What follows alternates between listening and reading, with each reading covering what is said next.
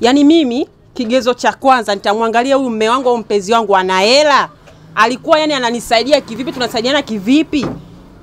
Kama yani alikuwa na usaidizi wowote, yani alikuwa sawa, hana msaada wowote kwangu, aende tu. Ah, mimi mada hii kwa mimi binafsi, mimi mwanamke katoa mwili wake, mimi naachana naye, sitoi kipigo, sitoi chochote. Nikihakikisha kweli anatoa mwili wake, mimi naachana naye, kwa maoni yangu mimi. Wengine wanasema nitamuua, nitafanyaje? Ni kosa la kwanza, unafungwa na serikali. Serikali yenyewe, sheria ya Tanzania iruhusu kuua. Kwa nini umuue? Katoa mwili wake, kwa hiyo kwa nini umuue? ni kwamba sizungumzi mpenzi, nazungumzia mke. Sasa jambo kama hilo kitokea kwa taratibu za kabila langu, sitokuacha salama, na mimi nakuondoa tu. Kwenda kupotea jela sio shida. Mimi kitokea nimegundua nime- au nimejua nime nimejua kama mpenzi wangu ana date na mtu mwingine, mimi aisee, yani nitamuua, kwa sababu mimi nikioga na mahusiano nakuoga na mahusiano mahusiano moja.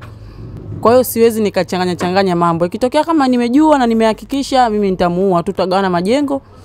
Mimi nitaenda sehemu husika, naye ataenda kulala mahali pema peponi.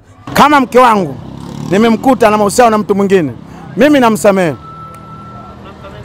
namsamehe mke wangu, siwezi kumwacha wala kumpiga wala kumuua. Kama anaweza mara kwanza namsamehe, mara pili namsamehe, mara tatu ndo namwacha basi. Mara ya kwanza namsamehe, mara pili namsamehe, mara tatu namwacha.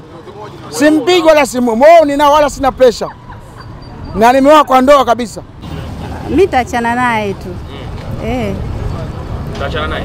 naachana naye, sikaona mi sifai eh, namwacha aende huko anakwenda.